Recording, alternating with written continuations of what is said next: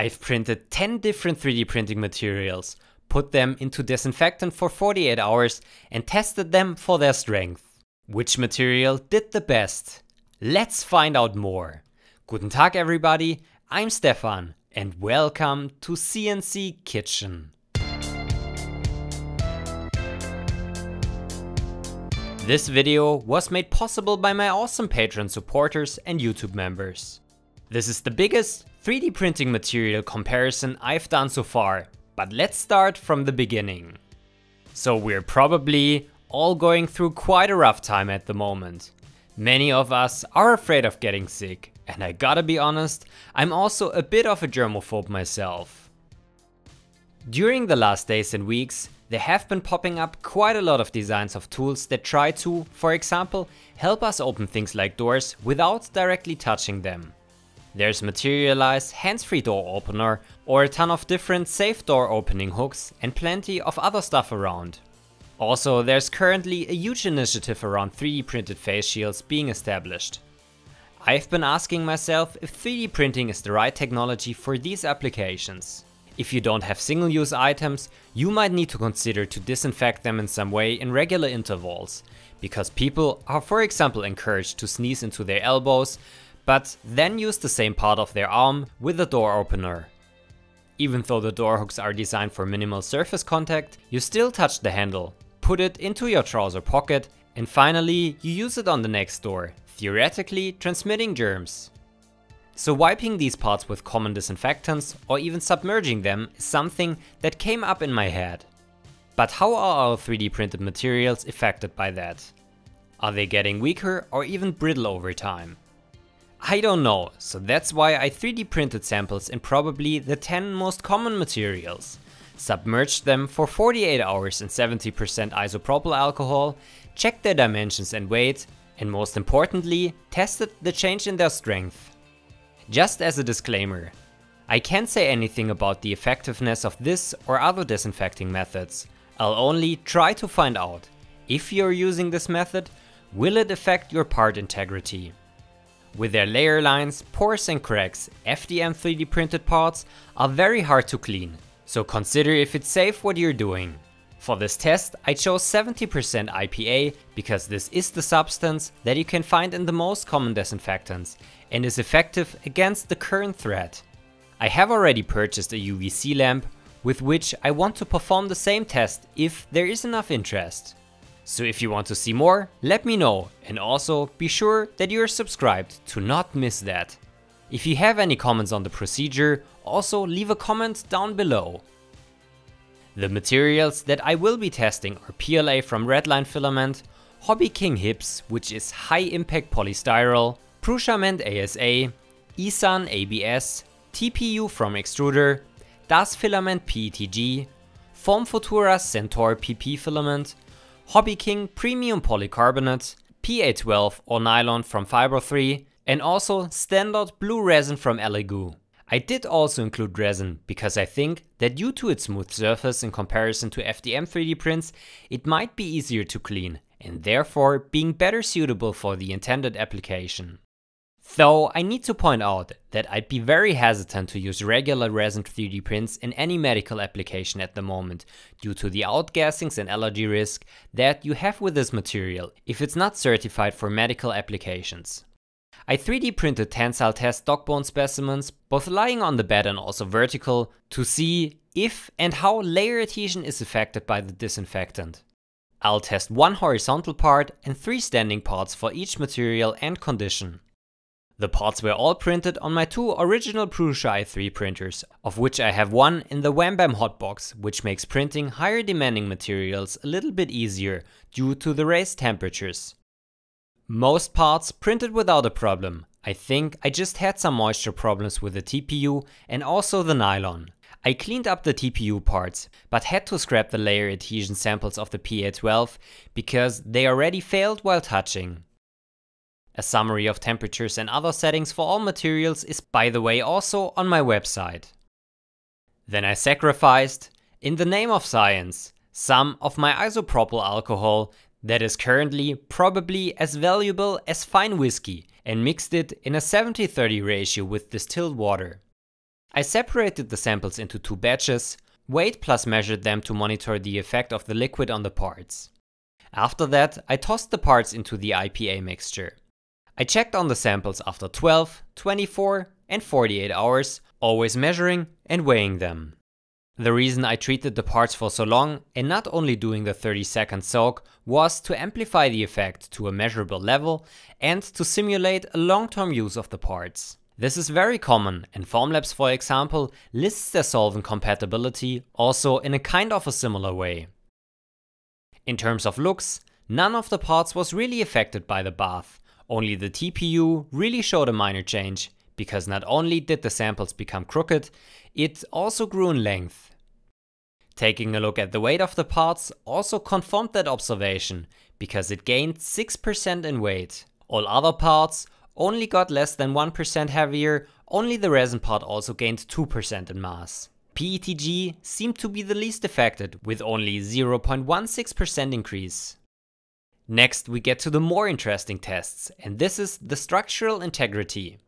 You may have noted that the samples look a bit different to what I used in the past. I designed them to be easier and quicker testable due to the sheer amount of tests that I had to perform.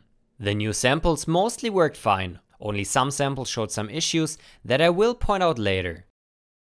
I measured the test section and then loaded the specimens one after the other into my universal test machine and then pulled them at a consistent speed until they failed.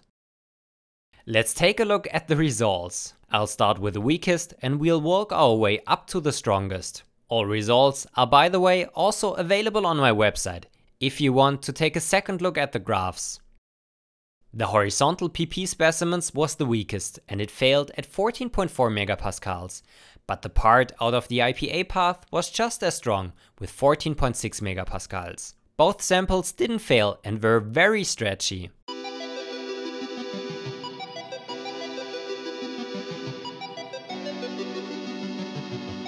Unfortunately, I just noticed during the test that the standing specimens were not printed with 100% infill, while we can compare the two printing orientations. But I'll update those values on my website as soon as I retested them.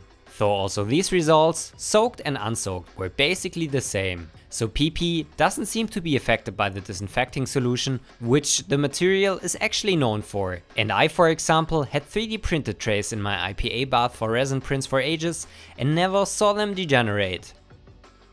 Next we get to HIPS. Here, the horizontally printed parts didn't seem to be affected by the soak and both were able to bear 25 megapascals of stress before failing. The standing parts unfortunately showed two inconvenient failures, where the parts broke at the lug and not at the test section, which renders these results useless. Though the remaining values also seem to be very similar, and lets us conclude that HIPS is not affected a lot by the water in isopropyl alcohol mixture. Next come the resin parts that I printed on the Elegoo Mars and tried to cure them as equally as possible in my makeshift curing station. I only printed standing parts because resin prints, even though maybe not 100% isotropic, don't show layer adhesion problems similar to FDM prints. The resin parts showed an increase in weight during the bath, so we could expect that something also changes in strength. The parts rip very cleanly in the middle. The untreated parts were able to bear 38 megapascals of stress. The soaked ones considerably less, with only 28 megapascals, which is a reduction by 26%. So we definitely see an effect here. Let's now take a look at ABS, which I, at first, didn't have in my comparison because I thought ASA is a new replacement for it, but then realized that probably more people still have ABS instead of ASA at home.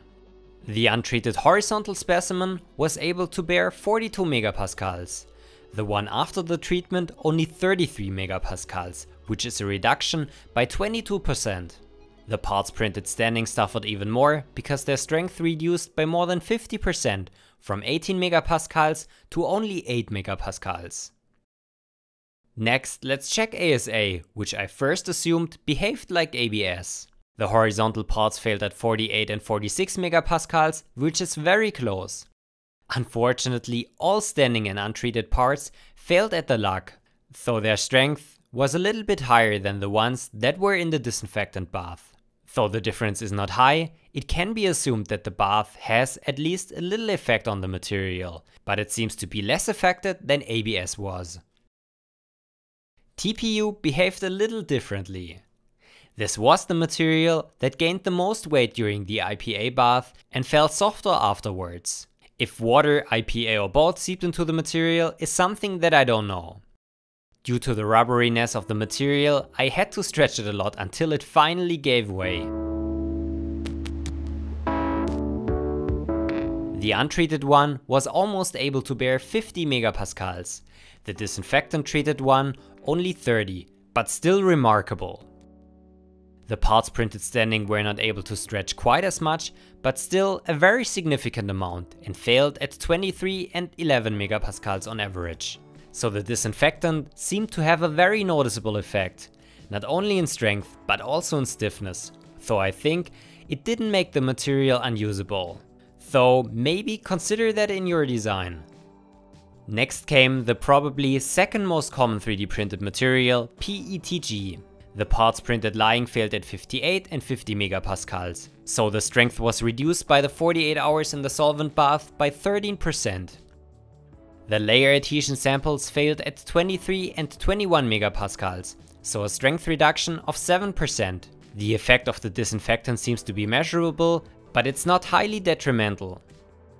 The third strongest material was PLA, with a horizontal strength of 60 and 57 megapascals, so a reduction of 5%.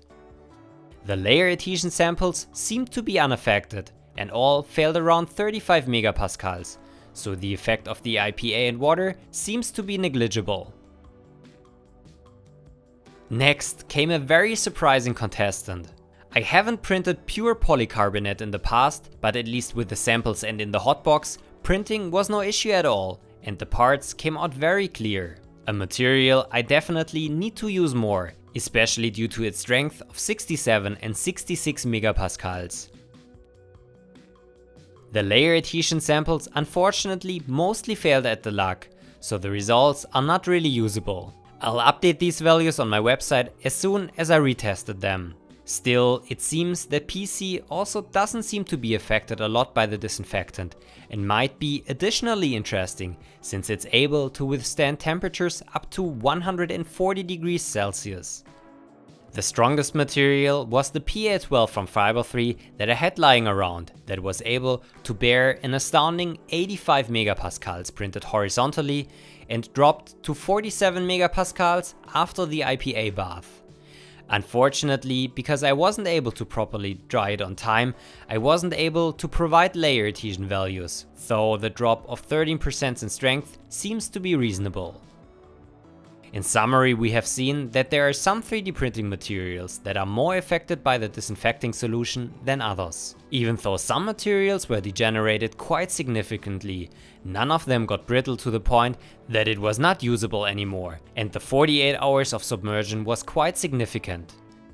Still, it shows that you should always think about which material is suited for the specific application, because some environment conditions might have a bigger influence on the results as this isopropyl bath. I'm honestly quite excited about the results of the UV exposure test. If you have other ideas what I could check out, then let me know in the comments.